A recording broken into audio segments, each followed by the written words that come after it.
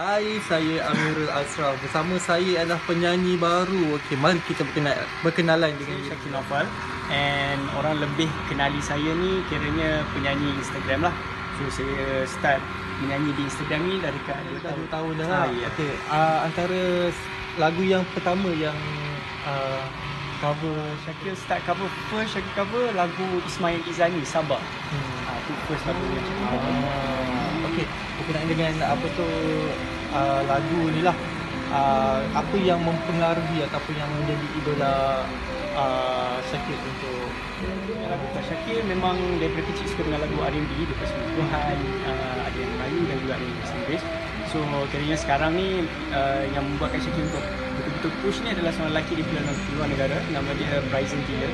So dia tu memang orang kenal dia sebagai R&B lah yang generation R&B so dia kira dia adalah inspirasi Syakir untuk keluarkan lagu Okay, uh, saya dimaklumkan single terbaru eh benarkan benarkan aku, saya aku benarkan Yes, aku eh yeah. dah dirilis boleh cerita sikit tak mengenai single ni? Okay, uh, benarkan aku ni actually uh, yang produce lagu ni adalah kalau seperti maklum kalau orang tahu tu kira ada kumpulan Tifat so kalau dalam Tifat ni dia ada Joe, Malik and Sibon Sibon ni kira producer untuk Joe, Joe Tizo dengan Malik.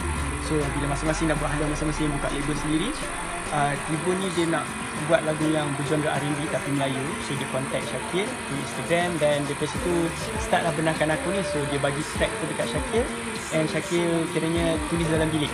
Syakir start tulis draft lirik tu pasal ialah biasalah cinta kan?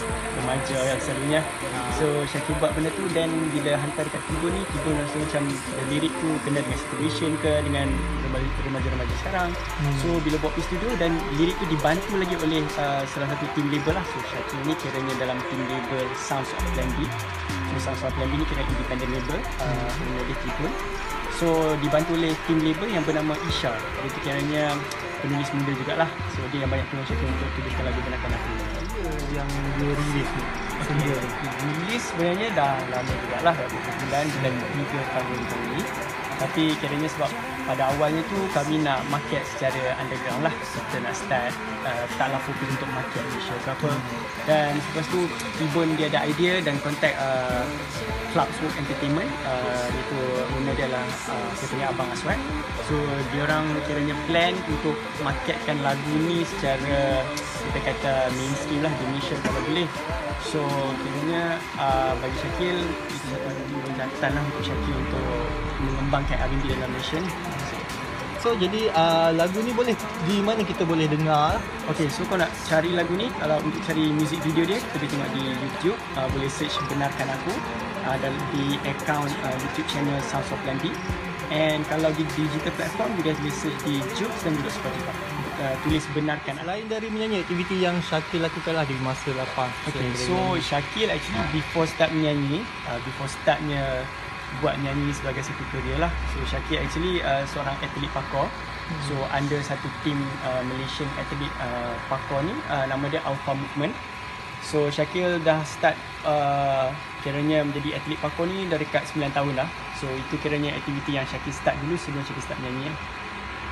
Syakir Naufal and jangan lupa dengarkan single pertama Syakir Benarkan Aku di semua digital platform Spotify dan Joox dan untuk tengok music video Benarkan Aku search di YouTube tulis Benarkan Aku dan anything you guys nak uh, panggil show dan sebagainya any update boleh tengok di Instagram Syakil uh, Syakil S H A Q I E L dot N A U F A L.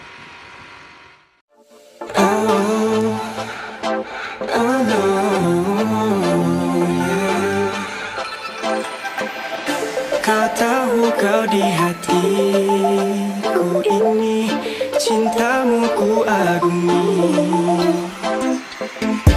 Hidup ini penuh dengan cabaran. Berikan aku satu permintaan.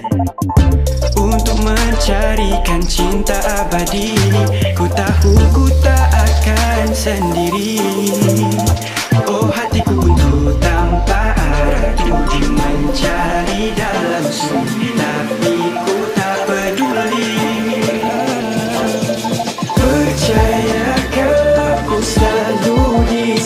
sisimu Ku takkan pergi jauh dari hidupmu Oh sayang serahkan